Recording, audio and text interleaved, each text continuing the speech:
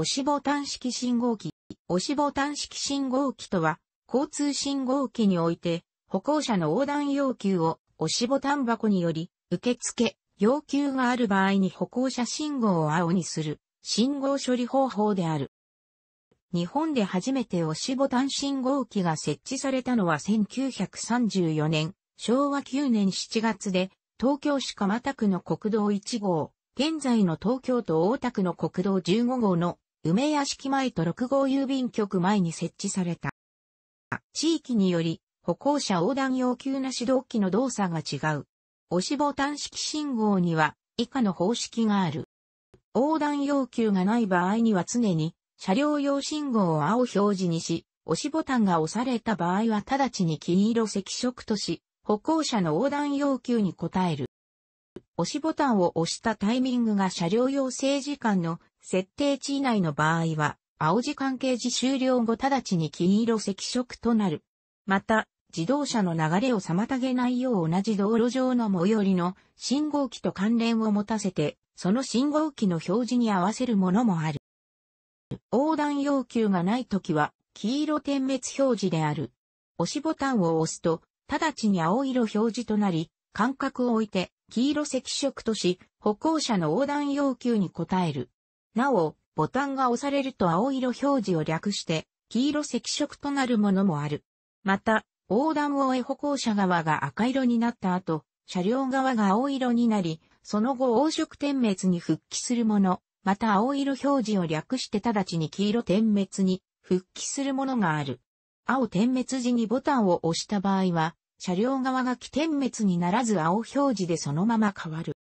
後者の方式は、静岡県をはじめ、愛知県、岐阜県、山梨県などの中部地方を中心に採用されている。また、中部、近畿、中国、四国地方の一部の府県でのみ見られる。以前は静岡県でも採用していたが、2001年、平成13年頃から常時感染青方式への変更が進み、一部を除きあまり見られなくなった。また、交差側、樹道路にも信号機が設置されて、交差側側、樹道路が赤点滅表示のものもあったが、こちらも近年は常時感染青方式に変更されていて、交差側の信号機は撤去されたか、車両間応式信号機に変更されている。この方式は、愛知県、三重県、滋賀県、広島県で採用されていた。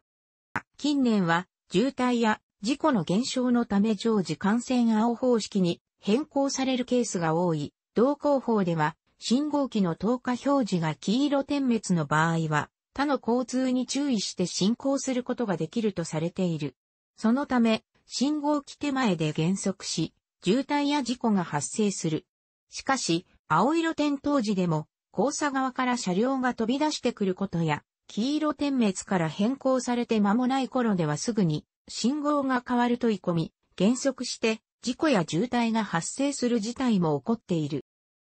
一方で、見通しの悪い交差点やカーブの多い交差点は、スピード違反、交通事故防止の観点から、常時感染青方式から感染先行方式に変更されるケースもある。設置場所により24時間押しボタン式として動作するものや、特定の時間帯のみ、押しボタン式として動作するものがある。後者の場合、昼間は通常の信号機として動作し、交通量の少ない夜間を押しボタン式として動作させる夜間押しボタン式信号機を採用するところが多いが、一部の夜間点滅信号機は点滅動作時は採用していないところもある。1990年代後半以降、身体障害者や高齢者などの交通弱者を対象とした専用の押しボタンも併設されているところもある。この押しボタンでは安全に渡ることができるよう通常のものより横断できる時間が長めに設定されている。なお、この押しボタンは押しボタン式以外の信号機に設置されていることもある。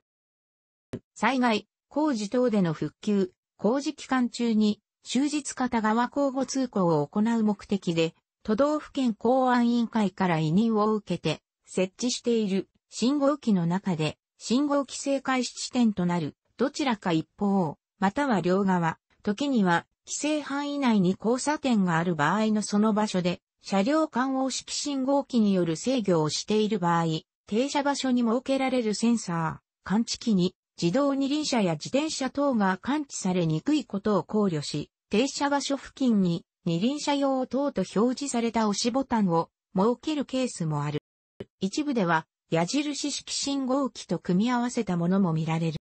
表示板には押しボタン式、夜間押しボタン式、押しボタン信号、押しボタン信号機、夜間、押しボタン信号、押しボタン式信号、夜間押しボタン式信号などの表示がある。近畿地方の場合、大阪府、京都府が夜間、押しボタン式、奈良県では押しボタン信号の表示である。以前は大阪府、兵庫県でも夜間、押しボタン信号の表示があったが、今は撤去されており、夜間車両間応式、兵庫県では感知式や歩行者用信号にのみ、夜間、押しボタン式に変更されている。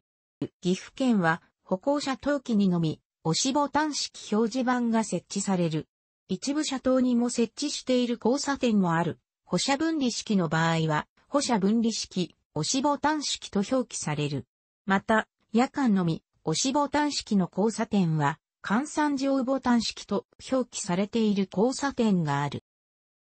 押してください、お待ちくださいと表示される文字の色については、かつては警察庁の通達により赤色と決められていた。しかし色覚障害者から見えにくいという苦情が寄せられたため、2009年から赤色以外も使用可能となり、社会実験の結果、白色の文字が一番見やすいことが分かった。この白色の文字は高齢者にも見やすいという。2011年から徳島県で白色表示を導入。2013年からは岡山県でも導入を進め、それ以外の自治体でも順次導入されている。高齢者などに配慮し、触れるだけで押せる新型押しボタンを2016年より順次導入している。